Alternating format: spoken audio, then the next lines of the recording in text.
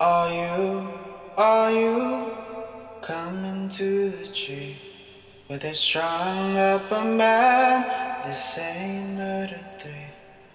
Strange things that happen here, no stranger would it be if we met at midnight in the hanging tree. Welcome to Strange Things with Chris James, broadcasting from the auxiliary radio station for Arkanasa Radio in Laredo, Texas.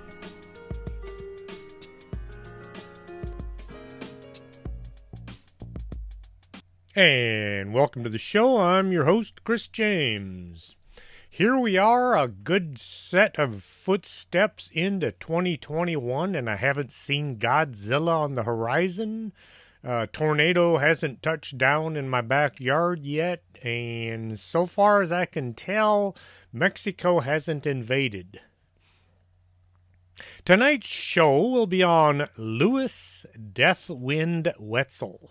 Now, John Howard sent me the link for tonight's show. Uh, 2020 was a weird year. It is the year that all others will be compared to.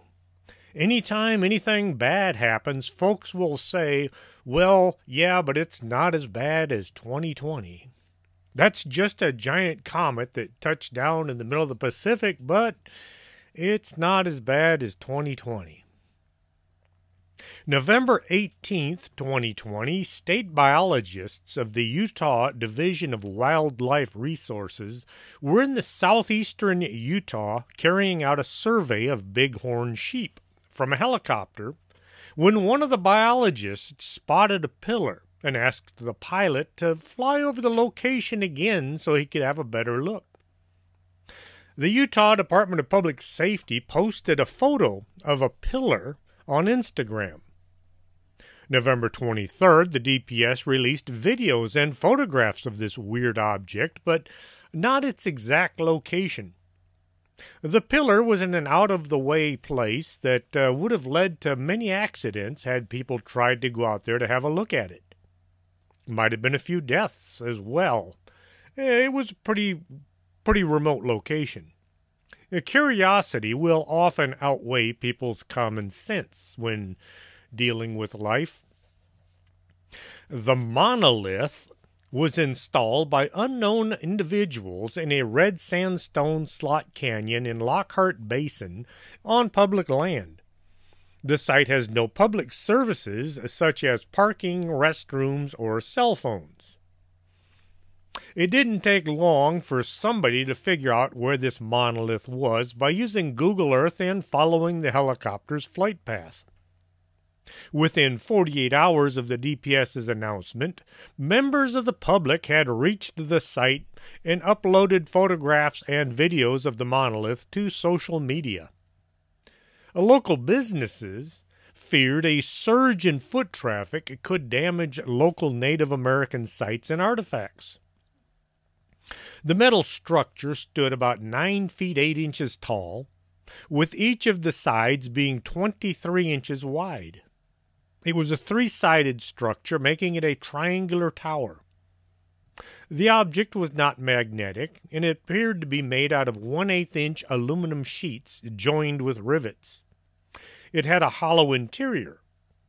There was silicone caulking, or epoxy, along the base, and the striking of the metal produced a dampened sound which indicated that it may be packed with insulation. Uh, Dave Sparks, better known as Diesel Dave, from the TV show Diesel Brothers, went out to the monolith and he described it in a video he posted on Instagram. They got a concrete saw and they cut it into the red rock.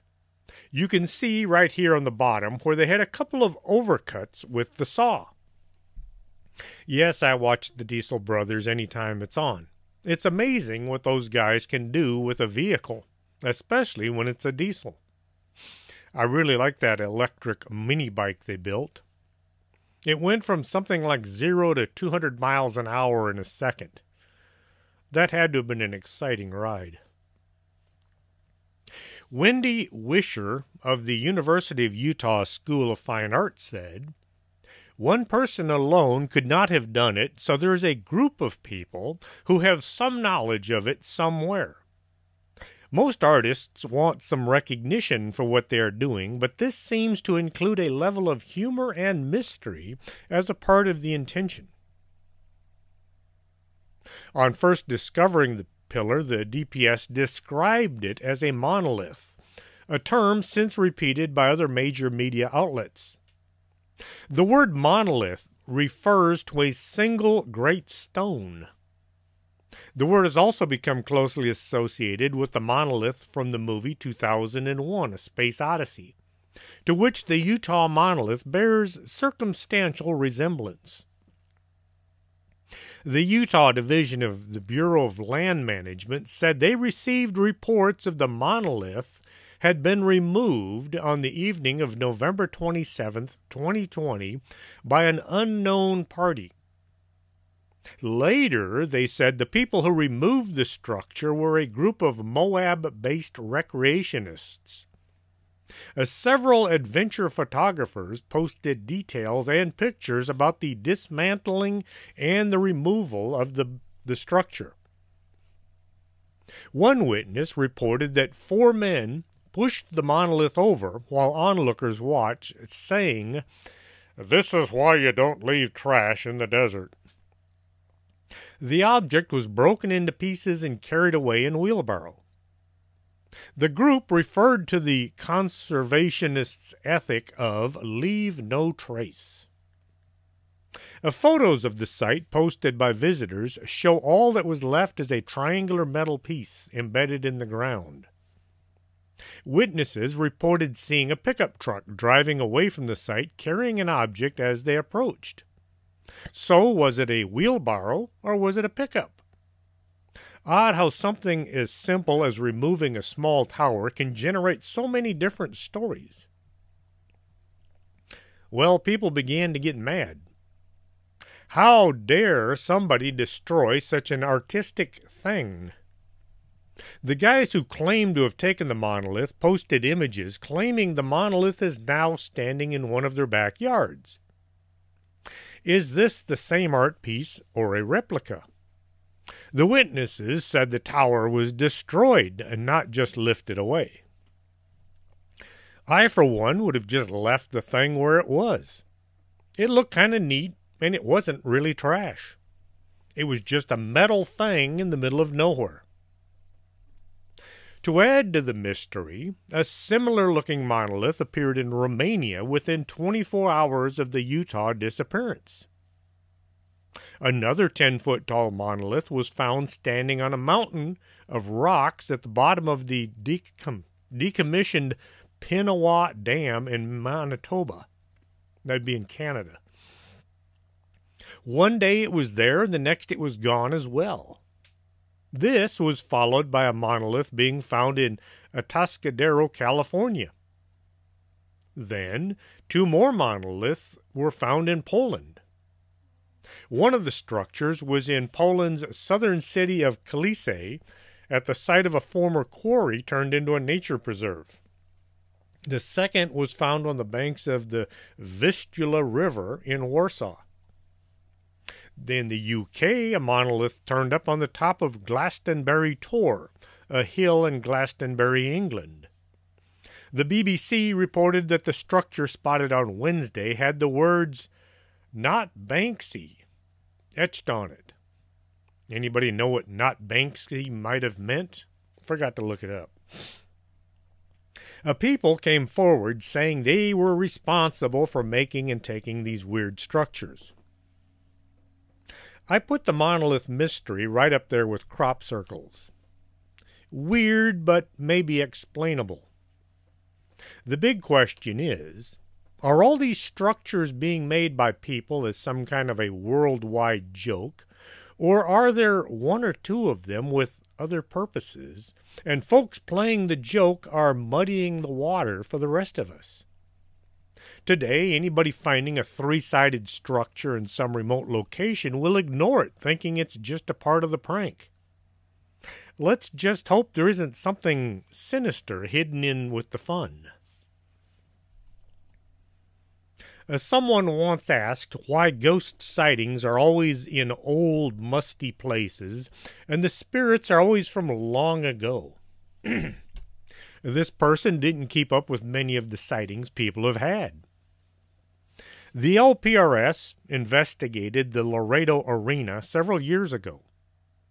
There is a ghost woman hanging out on the second tier. As she has been seen by many of the workers late at night. They see her enter the ladies' room. This is followed by the sound of the toilet flushing, and then a sink being turned on and off. There's no one in that bathroom. The woman looks like any ordinary person you'd see hanging out in town. The staff see her enter, but she never comes back out. The arena isn't very old. It was built in 2001. The ghost my wife and I saw looked like he belonged at the hospital right up until he vanished. Uh, people might see a ghost and think it's just some person. As long as there's nothing to put the thought of him or her being a ghost, how would anyone know? Uh, some people think a ghost is going to look like something out of Hollywood. The ghost of the little girl seen all over Laredo looks like any child. She looks real. She walks around, and those who see her would never suspect anything paranormal except she's dressed in old style clothing. The clothes are what make people think something is odd. When the little girl vanishes, people realize she's a ghost. So the person asking about the ghosts being long dead folks seen in old buildings is basing their thought on when people see something that stands out from everyone else. It's the clothes that make the ghost. More like the clothes that make people think ghost.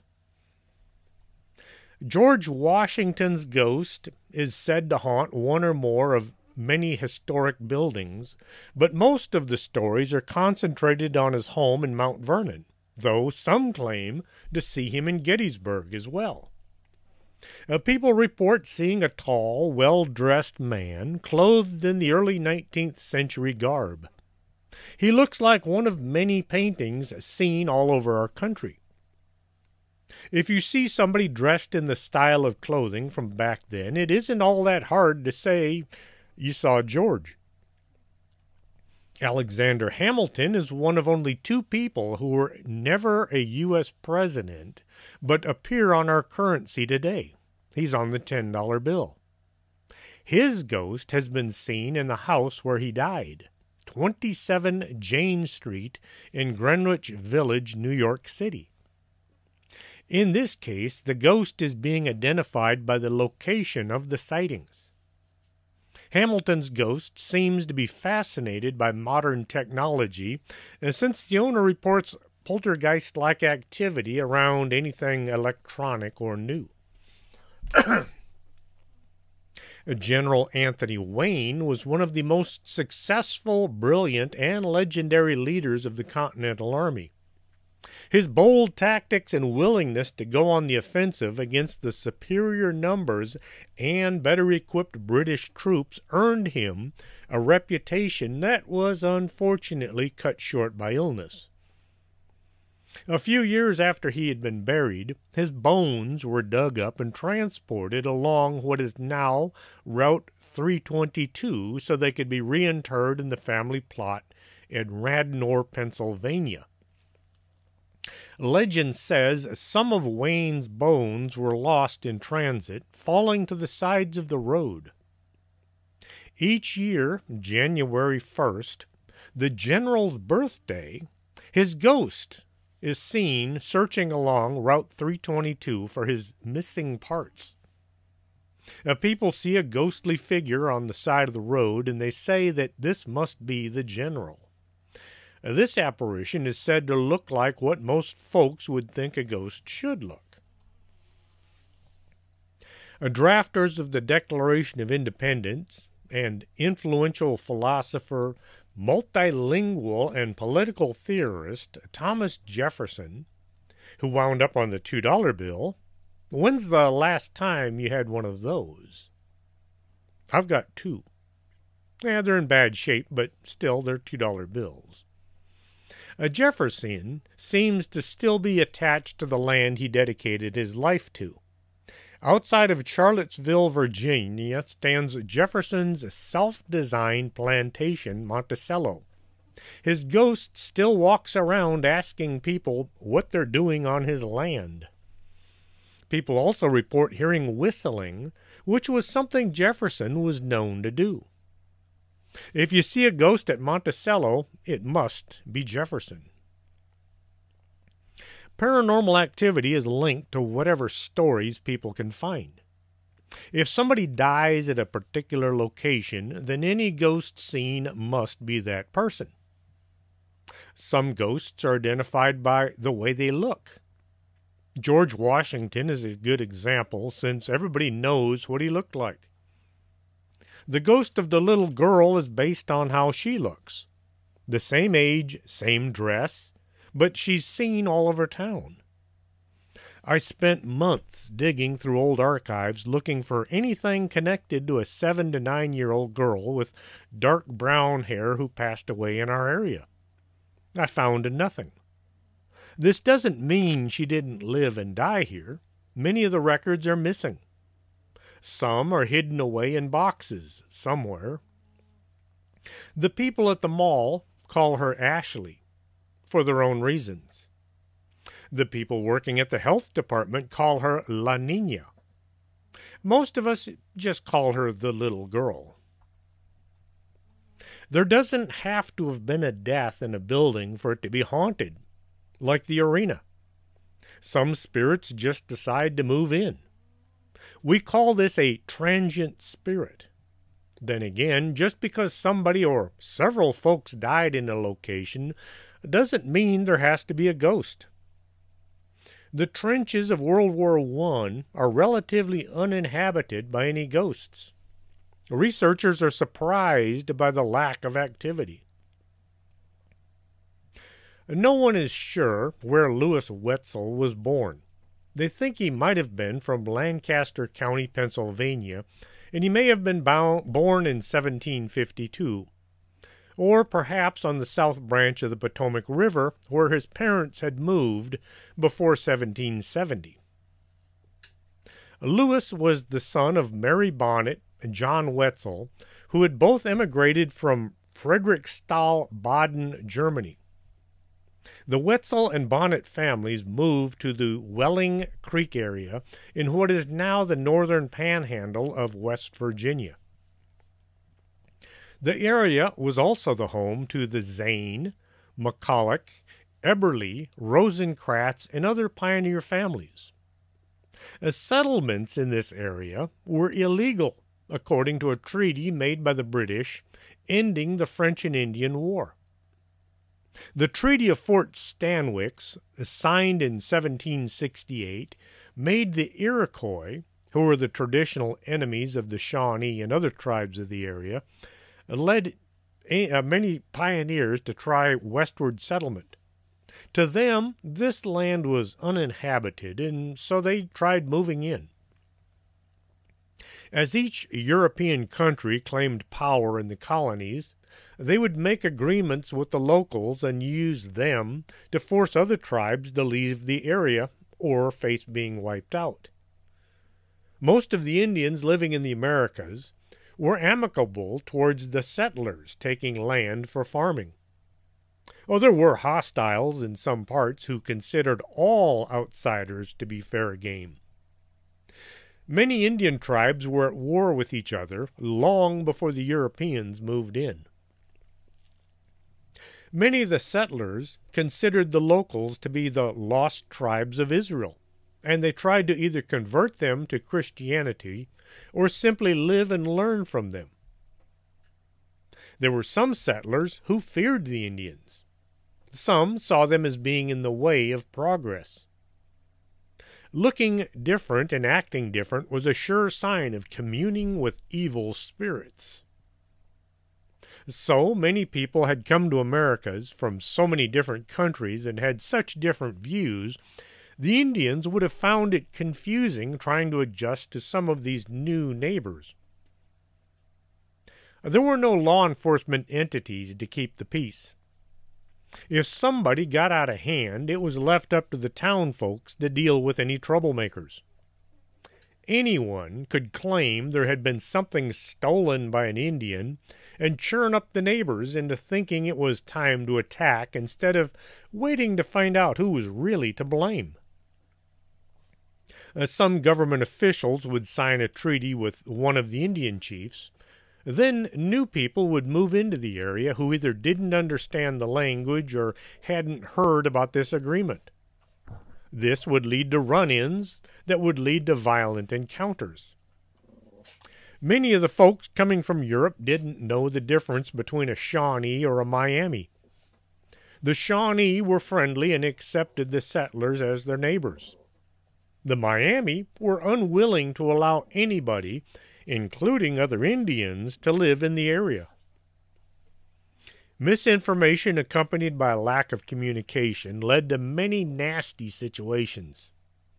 The Indians eventually came out on the bottom. The Wetzel family settled in a fairly isolated location near the Ohio River, about 14 miles from Fort Henry.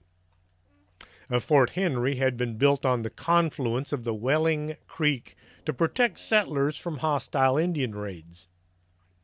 Despite the hardships of frontier living, uh, several Wetzel children survived to adulthood. A life was hard back then.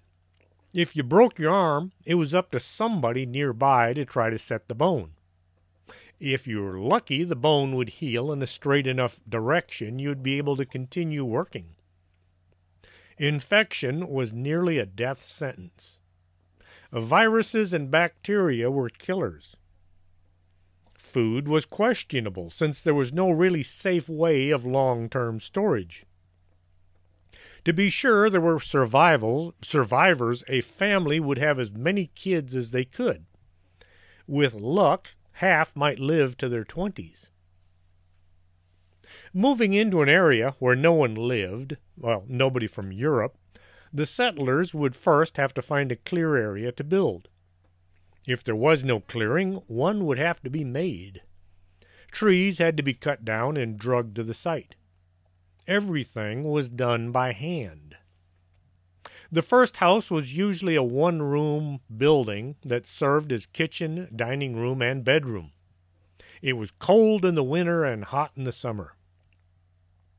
If you watch the show, Barnwood Builders, you'll see how many examples of these old cabins. Yes, I watch that show all the time.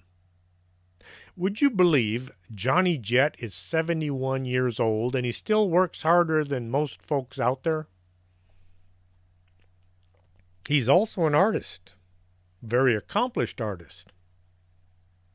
As the family grew, they might build a second room, maybe an upstairs.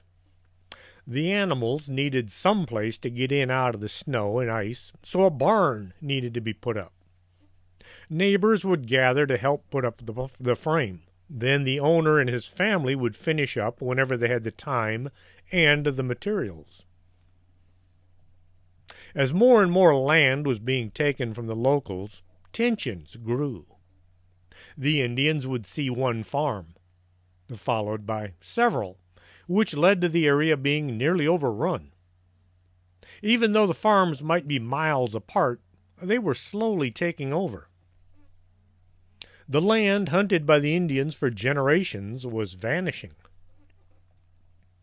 The atmosphere of the Ohio River Valley in the years before the American War for Independence featured atrocities committed on both sides by American settlers and Indians.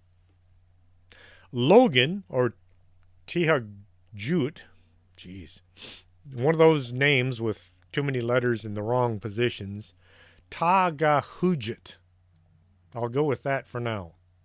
Tagahujit was a Mingo chief who was known as a peaceful leader. A group of Indians raided a farming community and stole food and supplies. The settlers formed a militia and began tracking the raiding party. Any Indians encountered were suspect. A Chief Logan's family were among those killed in 1773. A year later, Logan led Shawnee and Mingo raiders to the Clinch River settlement in Kentucky. They had a few minor successes, but eventually they were defeated. Logan, overwhelmed with a desire for vengeance, refused to surrender. Then the execution of Chief Cornstalk in 1777 at Fort Randolph led to attacks on the forts in the area. Fort Randolph was built on the confluence of the Ohio Kanawha rivers. Today, the area is known as Point Pleasant, West Virginia, where the Mothman first became known. Lewis Wetzel's older brother, Martin, was a friend of Daniel Boone and Simon Kenton. He had helped his father fight Indians in the Battle of Point Pleasant in 1774, and he helped defend Fort Henry in 1777 and 1782. A rifle was good for long distance fighting. Close in, it was more of a club than a firearm. One of the favorite frontier weapons was a tomahawk. If you watch the movie The Patriot, you know what I'm talking about. A Jacob Wetzel helped construct a wagon road in central Indiana after fighting Indian wars in western Pennsylvania and the Northwest Territory with Kenton under General Arthur St. Clair and William Henry Harrison. The Wyandot were Huron Indians who had dispersed south from Canada into the Ohio country by the time of the Revolution. They were strong, aggressive allies of the British, and they were formidable frontier partisan warriors. In 1777, Lewis Wetzel, then 13, and his brother Jacob, age 11, were handed their father's rifle, a bag of shot, and a powder horn, and they were sent out to tend the family fields in an isolated section of Wheeling Creek. The rest of the family was at home when the Huron began to attack farms in the area. The family packed their bags and ran for the fort, along with all of their neighbors. While they were tending their land, the several Indians surrounded the boys and captured them. Lewis was injured during the scuffle. A bullet fired by one of the Indians had grazed Lewis across the chest. One of the Indians treated the wound, basically saving his life. The two boys eventually were able to escape, but Lewis developed a hatred of his captors that followed him through his years. Within a year, Lewis had expressed extreme belligerence and had begun to enact violent actions while participating in several counter raids against the Ohio Indians. He began to be known for taking scalps. When I was young, I was told that scalping had been taught to the Indians by the colonists. The soldiers fighting the British would pay cash for the white wigs worn by the British officers. Well, actually, scalping was practiced long before the Europeans arrived in the New World. And it wasn't just the locals who did such things.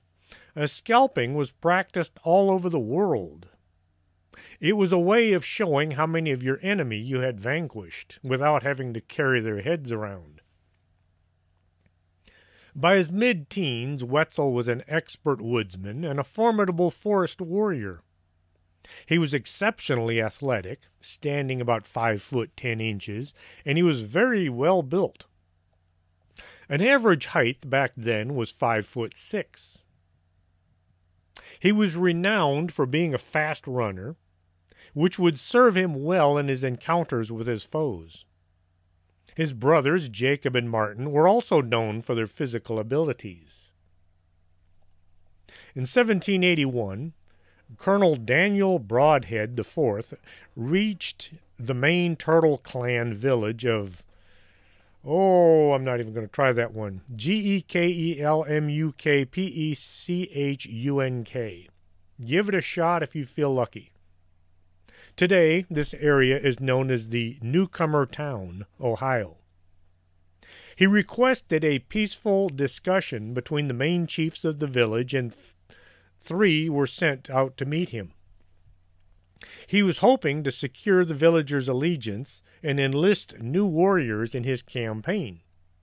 Well, Lewis Wetzel's younger brother Martin attacked one of the peaceful chiefs with a tomahawk coming up from behind, killing him just as he had crossed the river. Fearing massive losses and an unplanned battle, Brodhead retreated and instead refocused his troops on their initial goal of reaching Coshocton. And with that horribly sounding word, I will take a brief pause and drink some commercial and play some commercials. So don't go away. We'll be right back after this. Did you stay up all night watching horror movies and now you think your house might be haunted? Contact the Laredo Paranormal Research Society and have them come by and check out your house. Maybe you accidentally invited a ghost or a spirit, or maybe it's just the plumbing. You can contact the Laredo Paranormal Research Society at Laredo Paranormal at hotmail.com.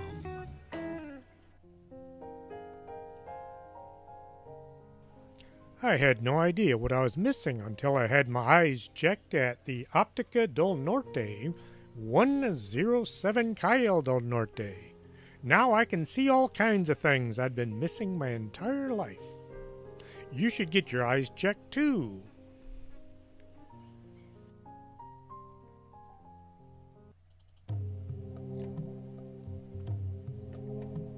Coffee. Without it, we would never have had the Industrial Revolution. We'd all be still living in Europe in mud huts.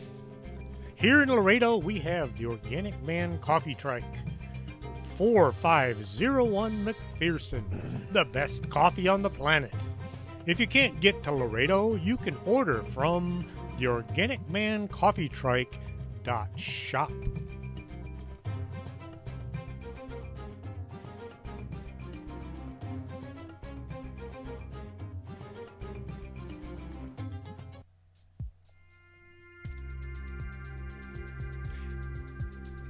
Isn't it about time you did something for your skin besides mistreat it?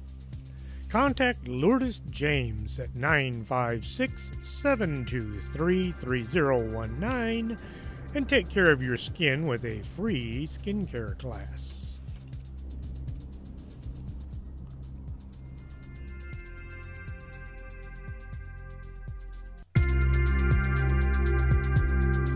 This is Arkanasa Radio you've been listening to.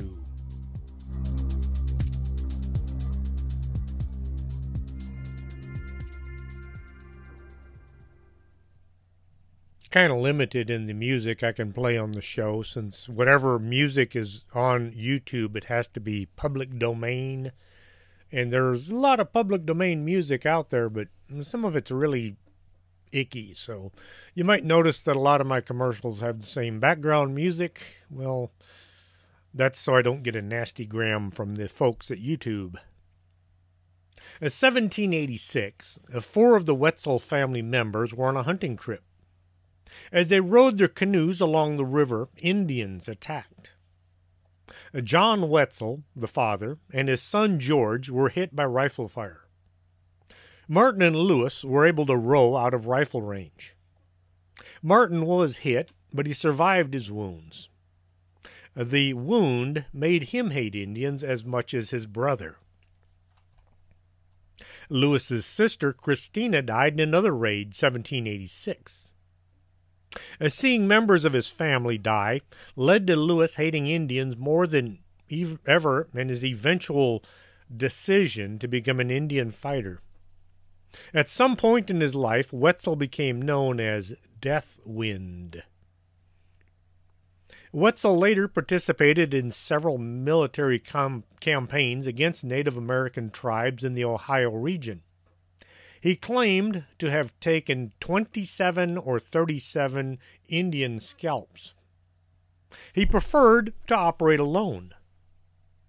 Military procedure didn't suit him, even while serving with the militia. He became renowned for an ability to load his rifle while on the move. A muzzle loader is usually loaded while the butt sits on the ground. You have to pour in the powder, ram the bullet into the barrel, prime the pan, all while standing up. Wetzel was able to do all of this while on the run. He would keep a few bullets in his mouth for easy access. The lead probably caused some mental problems over the years. Lead poisoning affects both the mind and of the body. Lewis Wetzel really hated Indians. It got to a point he went looking for somebody to kill. Today, he'd have been called a serial killer or a sociopath. He was implicated in the deaths of many several, many several, many friendly Indians. That's not too redundant. I used to re- work for the Department of Redundancy and Repetition Department. Something the government would come up with. He may have killed some of them while they were asleep. The government had a tendency to look the other way any time the victims were locals. Many of the settlers didn't have an issue with the Indians, but the noisy ones were so vociferous that they tended to turn the tide against the Indians. The most famous incident that turned public opinion against Wetzel involved the Seneca chief Tegunteh.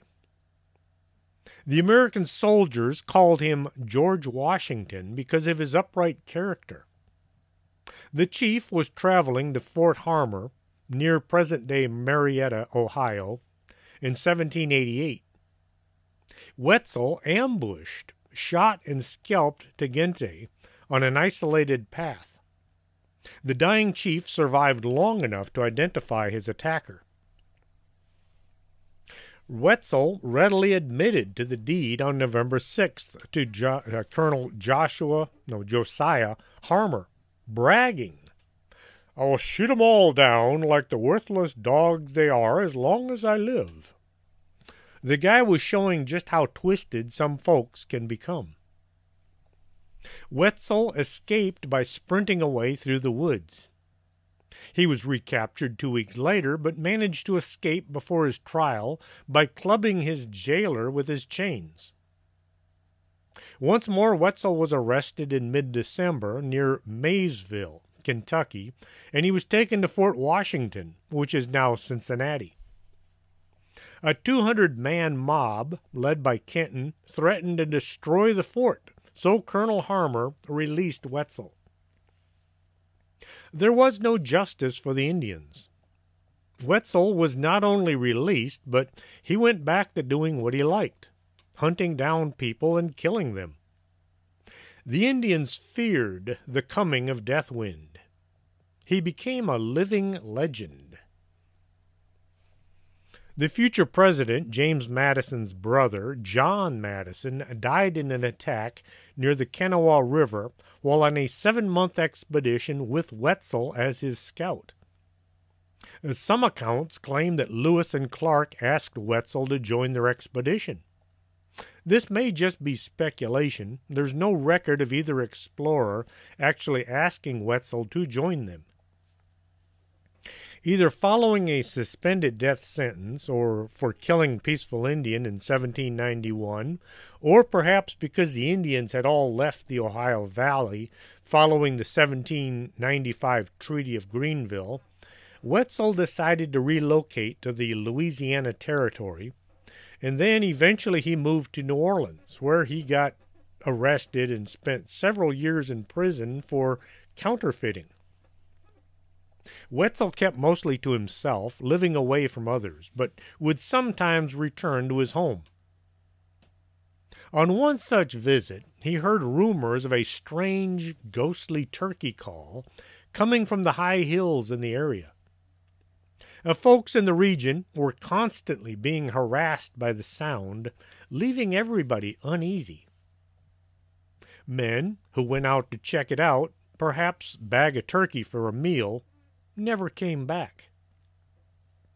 As more men disappeared pursuing this phantom turkey, Wetzel decided to check out this mysterious and supernatural bird for himself. Before sunrise, Wetzel snuck through the trees, and he managed to get close to where the sound was reported coming from.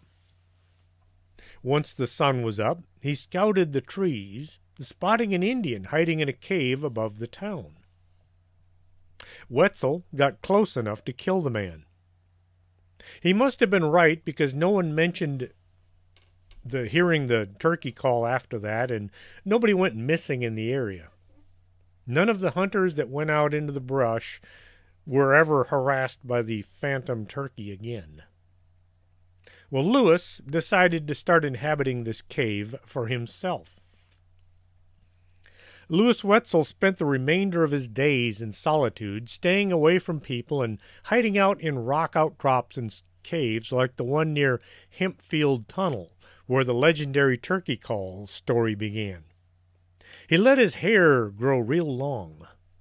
Lewis said this way, if the Indians ever managed to kill him, they could scalp him much easier. And it's not the and it is this very cave that is said to be haunted by Lewis Wetzel's ghost, a lonely apparition hovering nearby. His voice has been heard inside the cave, along with others who have hidden within its confines over the years. Accounts about his final years vary. He had no known children, although several of his siblings did have children, and some of them were named in his honor. Excuse me. Some of them were named in his honor. Most likely, Lewis Wetzel died in 1808 in Natchez, Mississippi, at the residence of his cousin Philip Sykes. Since a skeleton matching Wetzel's description, including the long hair, was exhumed, along with a rifle and other equipment at Sykes' farm. The remains were reinterred in McCreary Cemetery in Marshall County, West Virginia. There was more than one Lewis Wetzel of Point Pleasant, West Virginia. One was a judge and a newspaper editor who was one of the founders of the state of West Virginia. This Wetzel was murdered by another pro Union founder named John Hall. Martin Wetzel's direct descendant, Robert Lewis Wetzel of Clarksburg, West Virginia, was a veteran of the Korean and Vietnam Wars. He rose to the rank of lieutenant general and corps commander during the Cold War. Wetzel County, West Virginia, was named for either him or his family, as is the Lewis Wetzel Wildlife Management Area. West Virginia has erected historical markers commemorating the Wetzel family near Limestone in Marshall County, and they specifically mention Lewis Wetzel on the markers for Fort Beeler and Terra Alta in Preston County. An Ohio historical marker notes Lewis Wetzel's involvement in the Brodhead Massacre of a group of peaceful Indians at the Moravian Mission. Zane Grey, the great Western novelist, wrote about Wetzel in his books. More recently, Alan W. Eckert recounted Wetzel's exploits in the Dark and Bloody River. A frontier warfare was brutal and brutalizing. Like Frederick Nietzsche said, when you look into an abyss, the abyss looks into you. Few men can go to war and return unchanged. Many of the native tribes allied themselves with the British during the American Revolution in a desperate attempt to stem the tide of white encroachment into their land in the Ohio Valley. It inaugurated a war of exceptional savagery and continued long after the Revolution was over. Soldiers who fought Indians during the Revolution would look upon anyone different from them with suspicion. The settlers coming to the New World would hear horror stories about attacks from Indians, many of which were vastly enhanced. A simple raid on a farm might turn into an all out county wide slaughter. Many so named Indian fighters began to question what they were doing. Some even began to regret their actions. Well, Wetzel was not amongst them. He kind of had a taste for what he was doing. Uh, David or Davy Crockett, as most know him, did become an Indian fighter. After an Indian attack on a frontier town, uh, Crockett joined Andrew Jackson and began hunting down the locals, thinking they might have been the ones who attacked. It didn't take long for Crockett to change his mind. He lost interest in fighting Indians. Manifest destiny was a widely held cultural belief in the 19th century United States that American settlers were destined to expand across North America. Andrew Jackson was in favor of pushing every Indian out of the country so settlers could move in. Well, Crockett disagreed with Jackson, so Jackson did everything he could to get Crockett removed from Congress. Uh, some folks use adversity as an excuse for bad behavior, while others use adversity to grow. The story goes that Wetzel was buried with his rifle because one relative said, A gun that has killed so many would have haunted any house it was kept in. Once he was in the ground, the Indians, who had heard of his demise, made pilgrimages to his gravesite. They would leave gifts for his spirit in the hopes they would keep him from coming back to wage war on them from the other side. Wetzel was dug up and reburied in Moundsville near his original homestead in 1942. He is still well known in that area. West Virginia named a county and a state highway after him. Once more, the Indians who heard the grave relocation went to his new grave to try to appease his spirits. I don't know how long this practice went on. There are varying reports. Lewis Wetzel's cave is in Wheeling, West Virginia. It's 704 feet above sea level, has a total surveyed length of 163 feet. The cave is located 124 feet southeast of Tunnel Green of the Baltimore Ohio Railroad in East Wheeling. The five foot wide by four foot high entrance is in sandstone cliff and it reduces down to a crawl space of about two feet wide by two feet high. After 20 feet, the entrance passage intersects the main cave perpendicularly, forming a T shaped junction. Uh, just to the right of the T junction is a small room that is called the Indian Attic. It's 10 feet long by 9 feet wide, with a ceiling height of 4 feet. At one point, it passes right over the entrance. To the left of the T junction lies the main portion of the cave, 12 feet long by 4 feet wide and 11 feet high. It's divided into a small upper level room and a stoopway which slopes downwards to the main room. The upper level is 8 feet long, 2 feet wide, and the ceiling is 3 feet high. You'd have to crawl into most of these spaces, but if you're in there to sleep or to sit and relax. You don't need a lot of headroom. The cave where Wetzel had lived after killing the turkey caller is still haunted by his spirit, or perhaps the spirits of those he had killed. The story goes that Wetzel killed at least ten others while in or around the cave.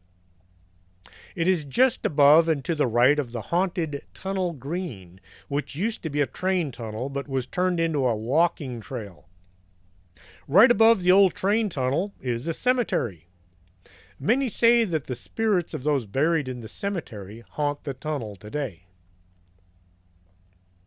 Could the hauntings be from the Indians killed by Wetzel, or his proximity to the cemetery unleashing their ghosts? Wetzel was relocated, and some say if you dig up a body, you're asking for a ghost manifestation. The opening to Wetzel's cave is small and it looks kind of squared off.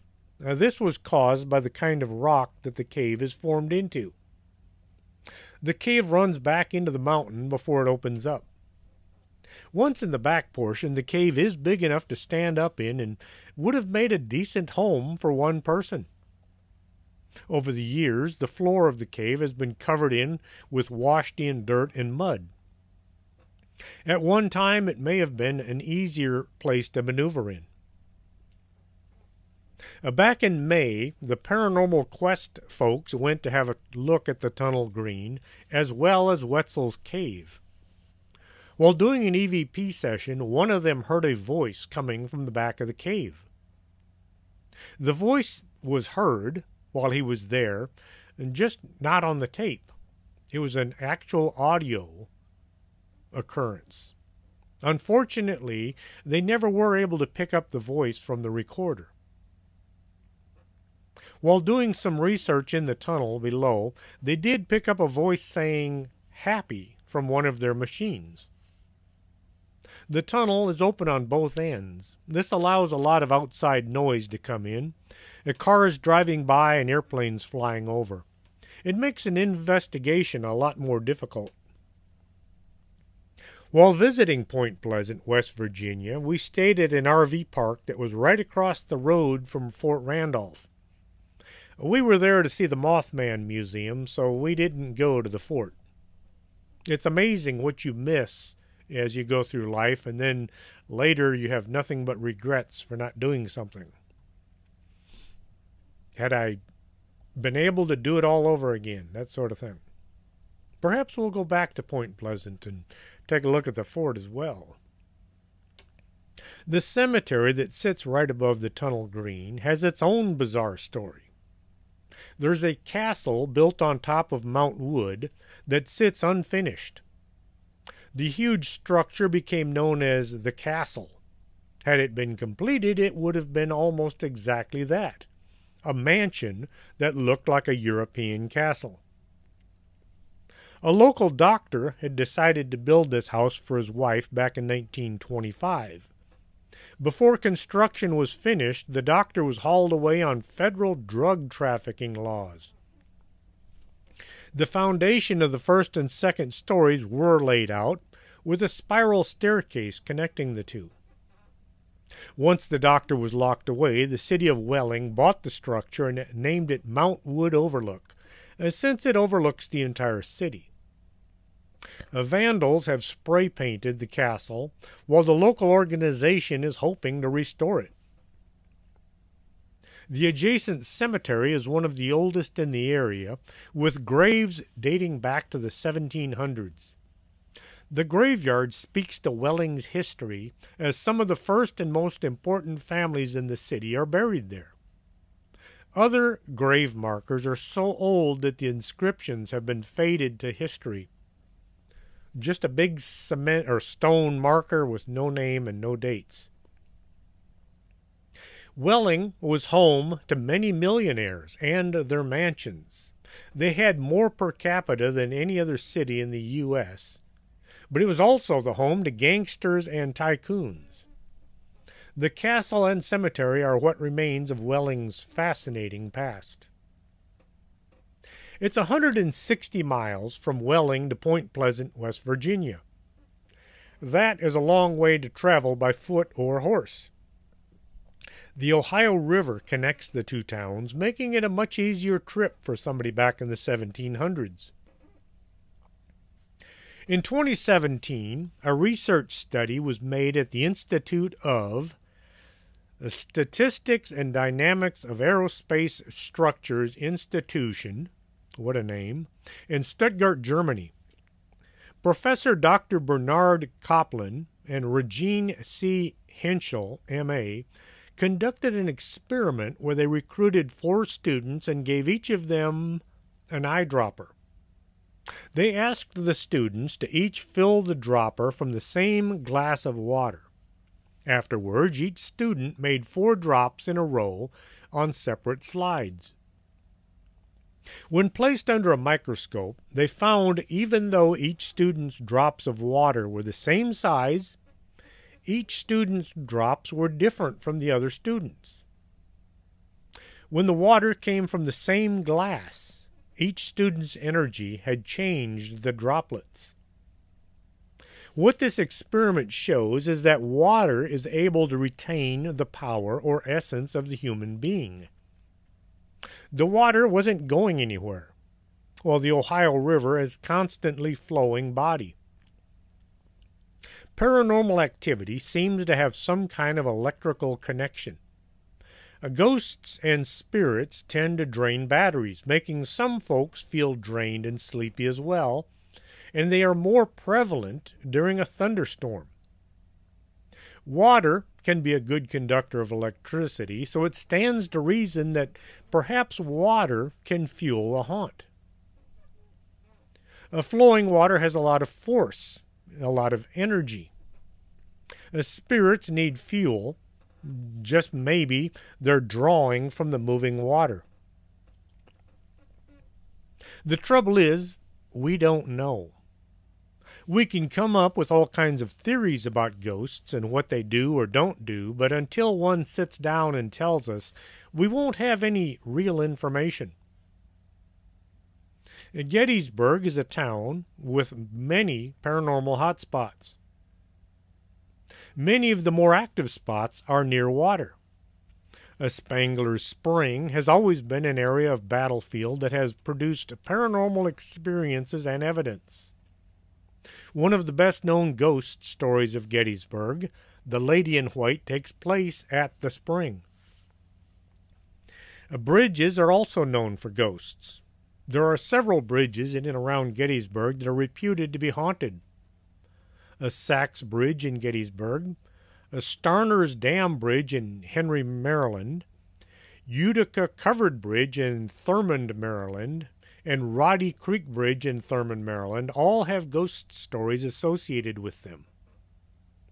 There's the Donkey Lady Bridge in San Antonio, the Goatman Bridge, the Pope Lick Monster, which hangs out under the bridge, there are so many ghost ships seen on the water, it makes me think there must be some kind of a link. We don't know the whole connection between spirits and water.